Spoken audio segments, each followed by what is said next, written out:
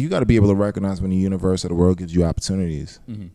The story doesn't have to play out the way you think it does. It just has to end the way it's supposed to. Before Saint JHN would become one of the most unique new artists with his genre-bending sound and honest lyrics, before he would write songs for dvsn, Usher, Jidenna, and collab with Lil Baby for his most recent single Trap, before Saint JHN would have over 134,000 subscribers on YouTube and over 172k followers on Instagram, and before hip-hop legend Kareem Biggs Burke would make his return to the music business after close to a 15-year hiatus just to sign Saint JHN to a management deal off of pure belief in his talent alone. Saint JHN's rise in the rap game was not a traditional path. In fact, he started behind the scenes as a songwriter before ever getting noticed for his skills on the mic.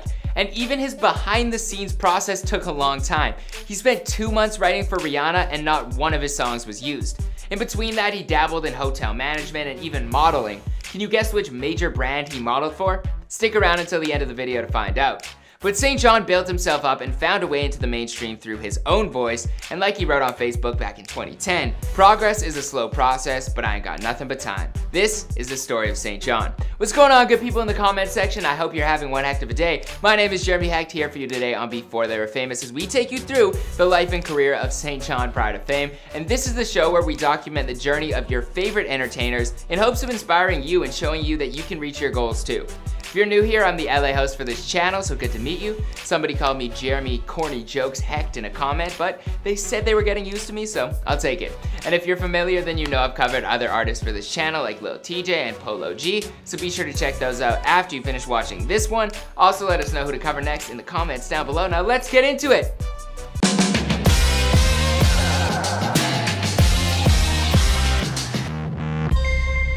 Hey, be sure to subscribe and hit that bell. Boom!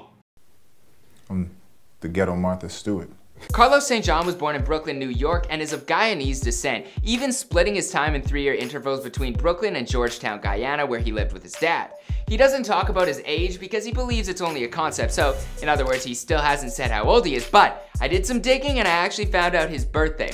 I won't go against his wishes, I'll just say he's not 40, but he's also not 20. Alright, in Guyana he didn't grow up with much, but he says he was unaware of his poor circumstances. He would run around the neighborhood barefoot and bathe in the rain. At 7 or 8 years old, he was even driving around on his father's motorcycle scooter to get around. As for his home in Brooklyn, I grew up between two project buildings. My mom would make sure that we wouldn't live in the projects because for her that was the absolute bottom. Yeah. For her that meant we'd never make it out because of the system that sort of entraps you. So she moved us a block away from the projects. His mother later became a minister, having her own church, but when Carlos was a child, she worked as a nurse's aide and wasn't making much money. She couldn't afford to keep him and his siblings around, so she would send them back and forth to live with their father every three years. His mother always made him read a lot of books growing up, so he was always very good with words. She would also listen to church music, but it wasn't what John wanted to hear. He also grew up listening to a lot of Caribbean music, later getting into Jay-Z during the Volume 3 era while living in Guyana and that was the album that changed his perspective on a lot of things. The first show he ever saw live was Supercat and Beenie Man in Guyana, which he can still vividly imagine to this day. But when he was 12 years old, he was inspired by his older brother to begin creating music. His older brother would rap in their neighborhood to his friends, and after Carlos saw what his big bro could do with words, he knew he had to try it out for himself. He told Double XL, my brother was the only older representative as a male, so if he was a rapper, I was a rapper. If he was a fisherman, I was a fisherman. If he was a cop, I was a cop. I just followed him down any dark path. I came home one day and I saw him rapping in the corner of a cipher. I didn't even know what a cipher was. And that was it. In junior high, he would literally just rap his brother's bars. The middle school kids thought he was a genius because of how clever they were. Ironic that he started off rapping someone else's words and gradually became the dude who wrote verses for other people, but we'll get into that. Carlos realized that he should probably start writing his own lyrics, plus he moved back to Guyana and his brother stayed in New York so he didn't have a new supply of his bro's raps. So he sat down and wrote his first song during his freshman year of high school while living in Guyana. At first, he was actually writing and recording using his given name of Carlos St. John. And while illegal activity was surrounding him in Brooklyn, and was even in his family, Carlos stayed away from a life of hustling. He told the Fader, I tried my hand at it, but I didn't like it. It didn't quite fit me the same. My teeth are too straight, my skin is too smooth. It just didn't work for me the same way, but for everyone around me, that's what was normal. In terms of actual jobs, he was a manager of a hotel at one point. But after his freshman year, Carlos moved back to Brooklyn and attended high school there. You don't got no rules and you just, you're wild. These were animals in New York. It just mm. breeds a lot of it just breeds that type of intention, that Yeah. like intensity in people. So I was in high school wilding. In 2010, he dropped the St. John portfolio as well as a new song every week for eight straight weeks that became the In Association mixtape using his real name. He was also calling himself the Black James Bond at the time. He described his early sound as angry and much less musical than his current stuff. Some of his music even got early placements on Hip Hop DX and Pigeons and Planes. There was one song he made to send over to his friend and only uploaded the demo version on SoundCloud to show him, but when you refresh the page, the song had a couple hundred plays. I'm like, wait, he must really like this. He played this a couple hundred times in the last 10 minutes.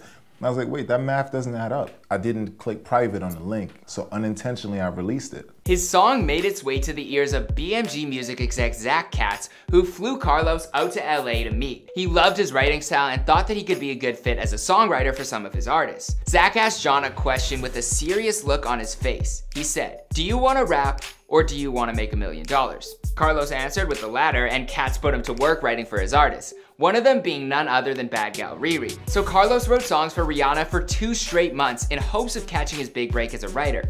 But unfortunately, not even one of his songs was accepted.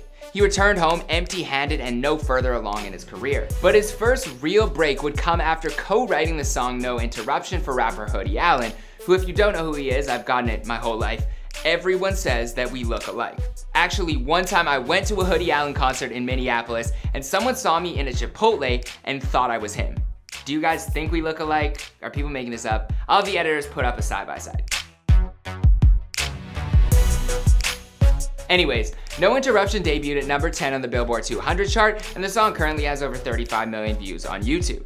That kick-started a career in songwriting for Carlos, who wrote songs for other big name artists. His first major mainstream artist credit was for Usher on the songs Crash and Rivals for his album Hard to Love. On songwriting, he told Hip Hop DX, I started out making music for myself and I fell into songwriting. I took the opportunity because I wanted to see what it was like to be selfless. You never get to a place where you're completely selfless because you're introducing your story to someone and then you're giving up the voice to sing. But he still felt a void in his purpose. Writing for other people allowed him a shot, but it didn't allow him the same opportunity to put his all into the work he couldn't give the same intensity and emotion to someone else's songs as he would be able to do for his own.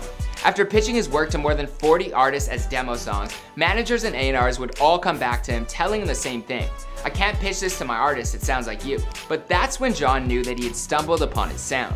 So in 2016, Carlos released his first song under the new rap moniker Saint JHN, titled 1999. He shot a video for the song in Coney Island and the eerie instrumental mixed with the distorted vocals delivered by John struck a chord with listeners. The video has now grown to over 700k views on YouTube at the time of this recording. He released two more songs under his new name called Reflex and his single Roses with the dark yet original video premiering on the Fader. The song is now sitting at more than 5 million plays on SoundCloud. And then he got a call from Post Malone's team to open up for him on the West Coast run of his Hollywood Dreams tour. But he was basically the opener to the opener to the opener, so not that many people were at the shows seeing him perform. His team is super cool. He's super cool. It's easy. We get along so well because I think our philosophies are similar. We just want to make cool and while his solo artistry was starting to bubble, his songwriting run continued, appearing as a credited writer for Jidenna's album The Chief in 2017, as well as writing the song Can't Wait for dvsn's 2017 album Morning After. He credits his songwriting experiences as a confidence booster saying, they taught me that I was good enough. Imagine you're standing next to a hero of yours, someone you've been admiring for two decades, or a decade, or 10 days, or five minutes, and you're there because of something that you crafted for yourself. It tells you that you deserve to be in the room. He also performed at some festivals including Rolling Loud, where he made waves for his live performance abilities. Two years after opening for Post at certain venues, he was headlining his own tour at some of those same rooms. His debut album Collection 1 dropped in March of 2018, and prior to the album dropping, his streaming numbers had reached 50 million streams combined on all digital platforms. He was also hired by Gucci as a model for their Guilty campaign. And you're right, I am guilty of giving you the answer to the question from the beginning of the video. But his modeling career was short-lived and he decided he had already done enough to complete other people's visions it was time to focus solely on his own. He accumulated over 150 million streams on all platforms combined and ended up signing a partnership deal with LA Reid's Hitco Records. And more recently, Kareem Biggs Burke would make his return to the music business after close to a 15 year hiatus just to sign Saint JHN to a management deal off of a pure belief in his talent alone. Biggs was previously a staple in the Roc-A-Fella dynasty with Jay-Z and Dame Dash, selling more than 60 million albums combined and executive producing all of Jay's albums up until the Black Album, before selling his shares and leaving the company. He said that he had lost his passion for music and while he was glad they created history, he wasn't trying to recreate it. All of that changed when Biggs heard Saint JHN's music. Roc Nation co-founder Tyran Smith had played a snippet for him of John's album, and after driving home listening to Collection 1, he immediately connected. Biggs and John became friends after meeting at a fashion show, and after playing some more new music for him, Biggs was convinced. Biggs told Billboard, speaking on Saint JHN, he will be the next biggest artist and brand in the world. As for the rest of the story, well, we'll have to wait and see, because this is before they were famous. Let me know who to cover next in the comments down below. As always, follow me on Instagram at Jeremy underscore Hecht. Dream good, live better. I hope you have one heck of a day, and I'll see you in the next video.